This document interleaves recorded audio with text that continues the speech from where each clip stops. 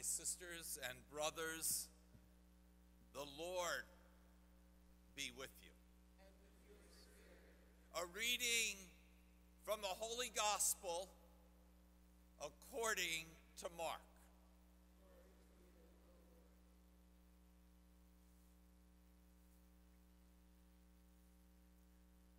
In the course of his teachings to the crowd, Jesus said, Beware. Beware of the scribes who like to go around in long robes and accept greetings in the marketplaces, seats of honor in the synagogues, and places of honor at banquets. They devour the houses of widows and, as a pretext, recite lengthy prayers. They'll receive a very severe condemnation.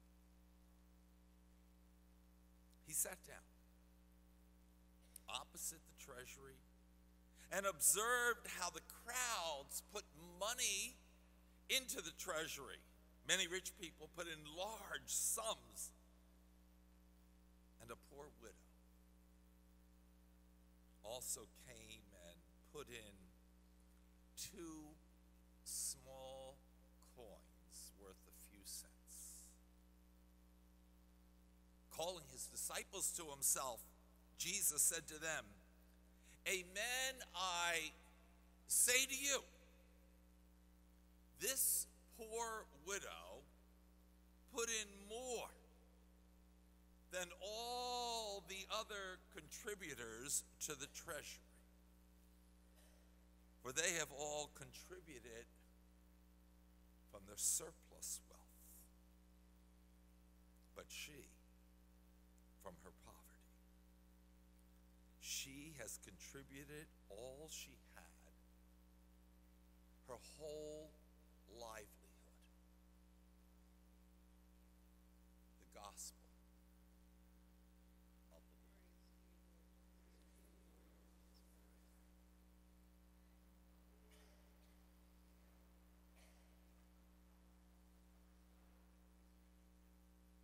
First, I just want to give praise and honor to God.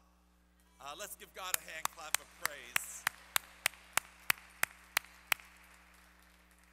I love coming to this Catholic kingdom in North Philadelphia, as Father Thorne describes it.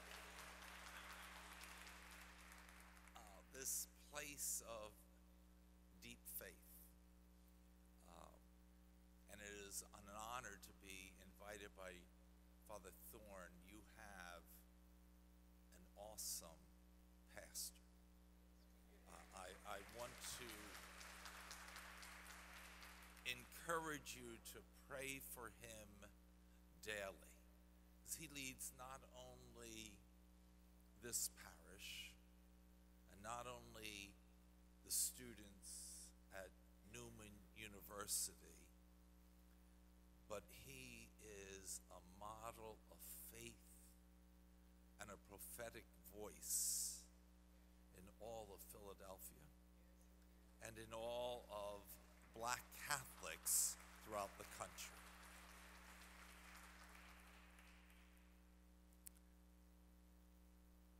This month has been difficult so many ways. In November, I see you, like we, have a Book of the Dead. And then we read or hear about senseless violence. So I want you to join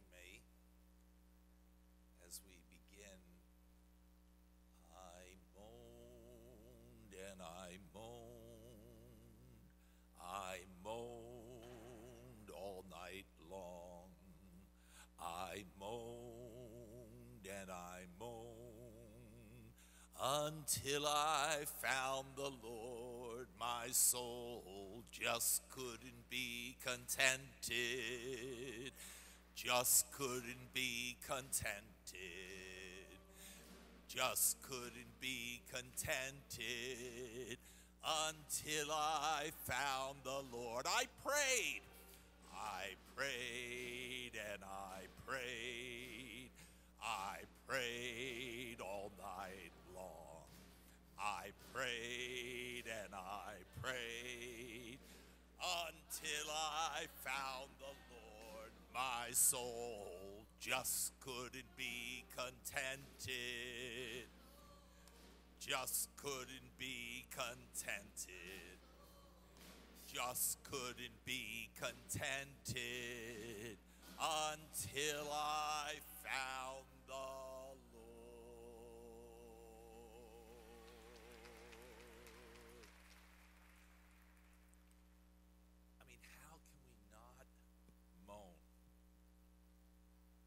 we see time and time again senseless violence?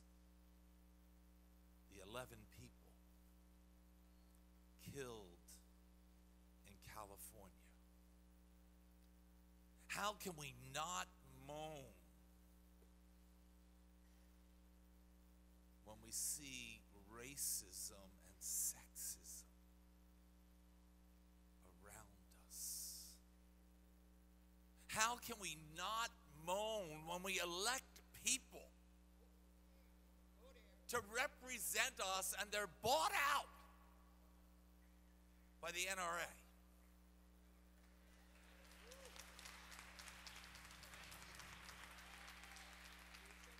And we all know that not all gun violence will stop, but we still need to do what is right, and we're not doing it. So I moaned every time. Today, God's Word, let's hear for God's Word.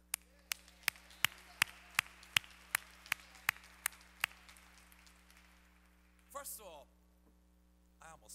this. I should never forget this. We should never forget this. Do we have any veterans in the house? Please raise your hand if we have. Let's hear it for our veterans. Praise God.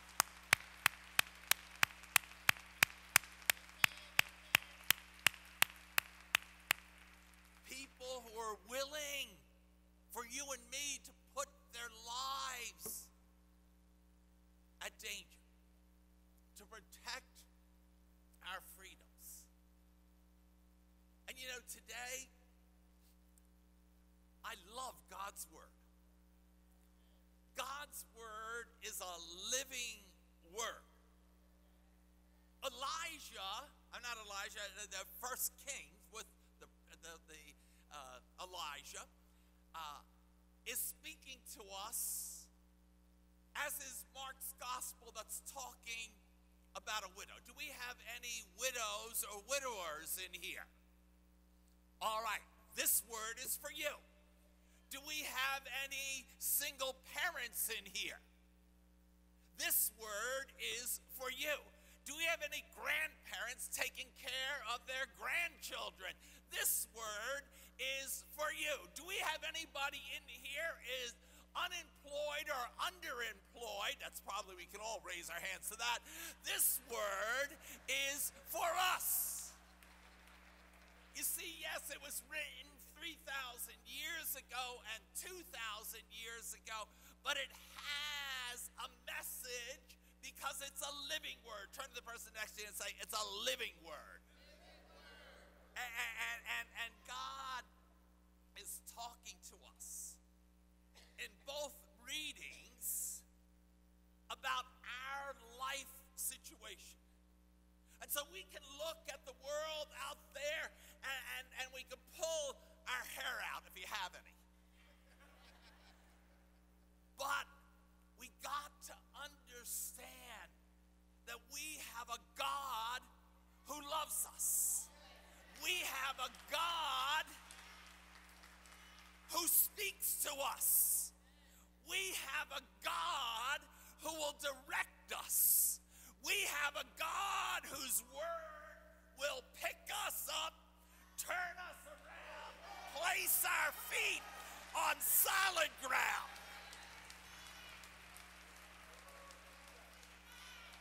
so we might have some moaning and groaning, but we also have the Word of God. Amen?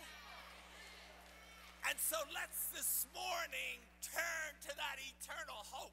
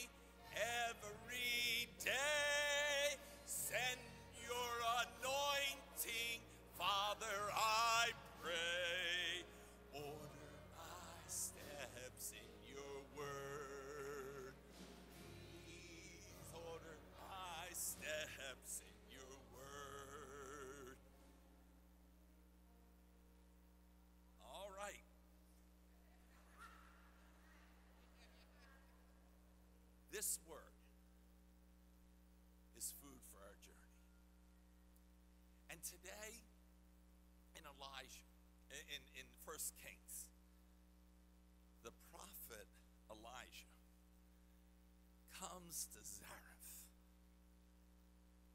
And there's a lady there at her wits' end. I'm sure that she had moaned and groaned and saw no way out. But there was something about Elijah. This lady was a poor widow. She was a single parent. She had one son. And she loved him deeply. And she was going to prepare their last meal. You see, there was a great drought. There was nothing to eat. And what a great spirit.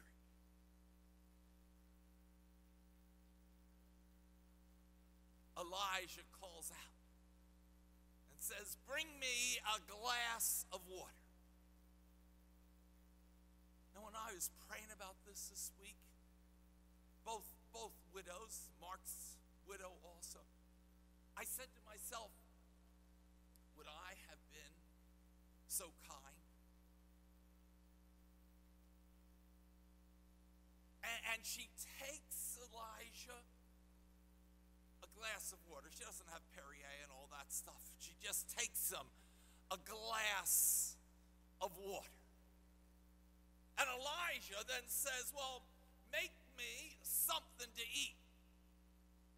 And she tells him, I don't other than this little jar of oil and this little sack, a little bag of, of grain. I'm going to prepare something for my son. It's going to be our last meal. What do you do when you feel you have nothing left? And Elijah tells her then, prepare something, prepare a cake for me first. Hello. Prepare a cake for me first. And then make something for yourself and your son. Wow. What faith. I think this widow understood that this was a man of God. Because Elijah tells her, the Lord, the God of Israel, assures you that your jar of oil that was almost run out and your little bit of flour will not run out until you see rain. It was a year later. A thousand meals, because you can't tell me you have a teenage son and you feed him just a cake once a day.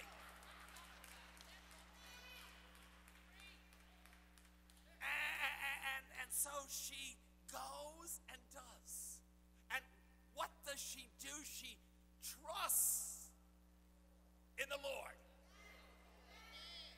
person next to you and say, You got to trust in the Lord. And you see now, let, and, and praise God. See, God has brought us a mighty long way. Amen. Anybody here know that God has brought them a mighty long way? If it had not been for the Lord on my side, where would I be? We got to trust in the Lord. Because if we're just trusting on what I have and I can do, we're not going to get anywhere. We're going to run out. And so now you have Mark's gospel. And again, you have a poor widow. And all these folk are coming in and putting in lots of money in the treasury coins, a few cents. And he gives us an example. He says to his disciples, She gave more than anybody else because she gave from her need. See, she trusted. She probably had been there before.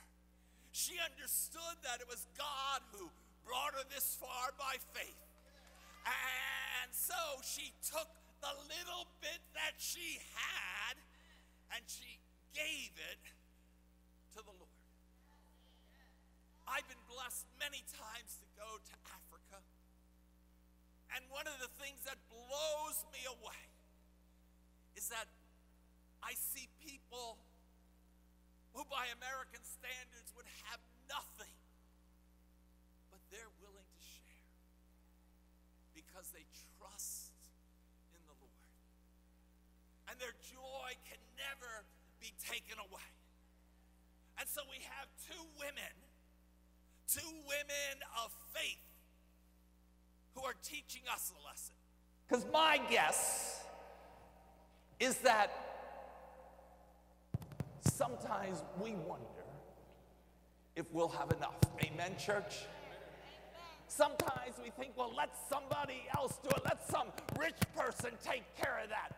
But God wants us to give what we have. He wants us to trust in the Lord. How many people here want to trust in the Lord? All right, then let's sing it. I will trust in the Lord I will trust. In the Lord I will trust. In the Lord at all times.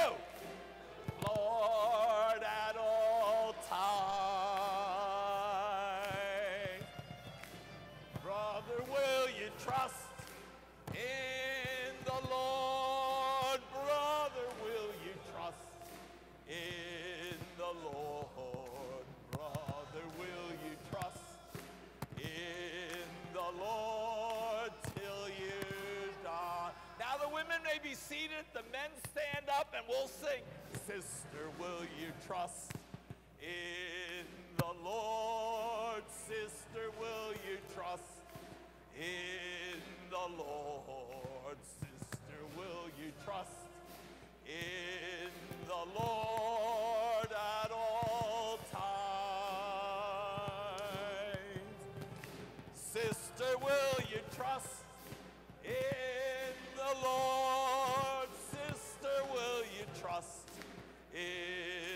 Lord. Sister, will you trust in the Lord till you die?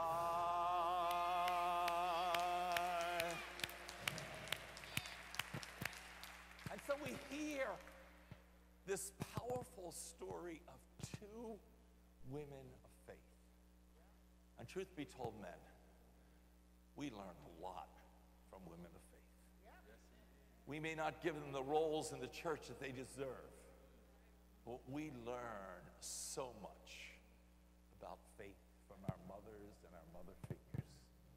And these two women of faith who don't have a whole lot, they show us that if you trust in the Lord, God will take care of you. You have the widow of Zarephath, and, and so for a year, over a thousand meals later, God took care of her. You see, if God is for us, who can be against us?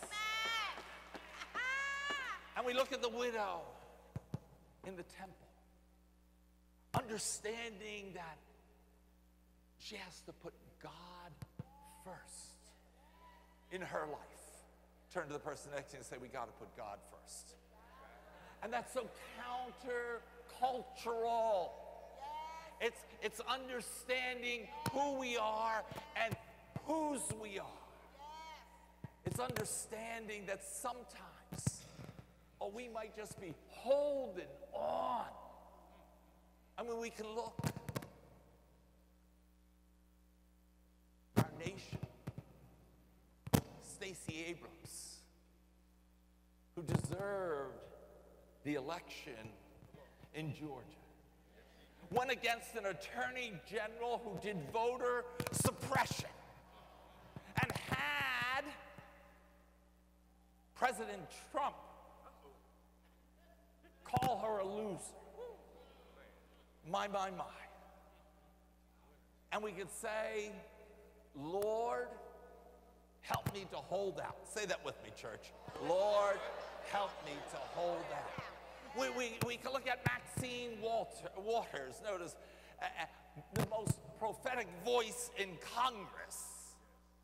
And the president challenged, said, oh, she doesn't know anything. She's wise beyond limits. And, and when we see that criticism, we can't help but say, Lord, help me to hold out. We, we, we can look at the 11 deaths in California. Now, get this, I'm going to put a couple things together here. It, it just made me think by a white man. We can think back to Las Vegas a little over a year ago by a white man. We can look at the Tree of Life Synagogue with the hate by a white man. We can look at the killings in Kentucky of a person who tried to get into a black church to shoot it up. It was locked and went in and shot the first two people of African descent by a white man. We can look at the 14 pipe bombs sent around and with hate all over his van by a white man. Now, these were nuts. But notice how we think, we don't look and say, how about these hate groups? How about these white nationalist groups? How about, how about our rhetoric that, that, that, that and, and, but I'm wondering, just wondering, if these incidents happened by a black man, where and what would we be saying as a nation? Would it just be a bunch of nuts? I don't think so. Lord, help me to hold out. You know, we can look. And, and, and we've experienced this in the church.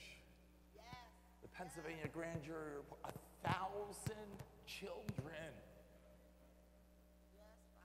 or 300 priests. Lord, help me to hold out. We can read about Cardinal McCarrick or Bishop Timlin or any of the bishops who were part of the cover up who say they're going to be shepherds of their sheep and meanwhile send their lambs to wolves.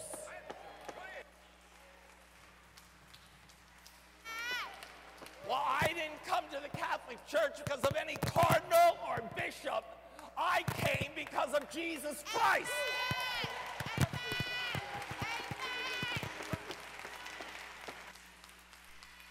And our, our voices have to cry out, Lord, help me to hold out. We can look at our society. And, and I, I just had a lady call me this week, hadn't spoken to her sister for seven years. And sometimes there are issues in families. There are issues in my family. And when things like that happen, we just have to say, Lord, help me to hold out. We can look at a Congress that wants to give all these tax incentives to the top 1%, and now we're going to cut Social Security and Medicaid. Lord, help me to hold out. We can look at, at, at, at sexual abuse. We can look at physical abuse, verbal abuse. It's six times higher in families. Lord, help me to hold out. I don't know about you, but I know I have in my family people of addiction issues. And we want to do something, and, and there's nothing we can do. And we just have to say, Lord, help me to hold out.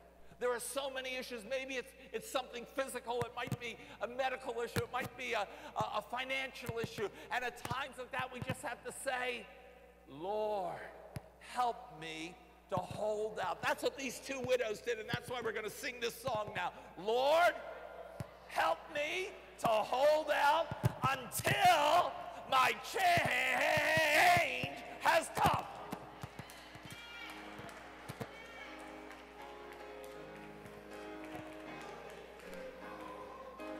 That's right.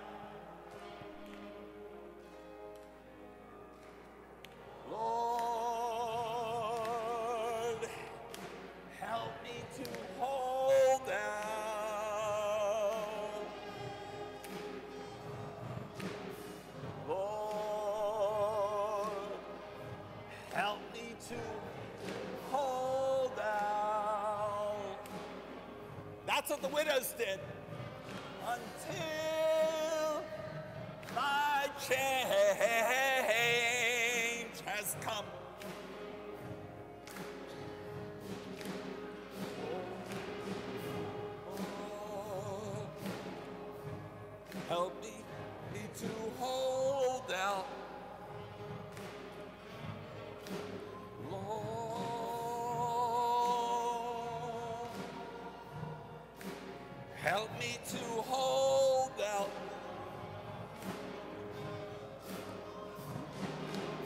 Lord, help me to hold out until my change has come. And the verse goes, My way may not be easy. You never said it would be. But when it gets dark, can't see my way, you told me to put my trust in thee. Amen. That's what we got to do. That's what these women of faith did. And so turn to the person next to you and say, We're going through things. I, I, don't know if it's personal, national, but we're going through things. But we got to look at a God who loves us. Amen? We got to look at the fact that God woke us up this morning. Amen? We got to look at the fact that God called us his children. Amen. We got to look at how far God has brought us by faith. Amen, church. We got to look at all that God has done for us, how he's opened doors and windows and picked us up when we were down. Oh, we, we got to look at the blessings in your life. You got to look at this parish's faith community that supports you. Amen. God is so good. Got to look at the word that will always lift us up and encourage us. And got to look at what we celebrate. It's God's love. It's God's, this is my body. God loved us so much that he gave his only son that whoever believes in him may not perish, but may have everlasting life. We got to celebrate that. We got to celebrate that God did not come into the world to condemn the world, but that the world might be saved through him. Amen, church. And then he said, This is my blood, which will be given up for you and for many for the forgiveness of sins. And one thing we all know, if we're truthful to ourselves, we're sinners. Amen? And God loves us and takes away. And so, yes, 3,000 years ago, we see the widow of Zarephath. 2,000 years ago, we see the widow coming into the synagogue, the temple. And now we come to pray. And we may be going through things. Life may be rough, but God is on our side. Turn to the person next to you and say, God is on our side.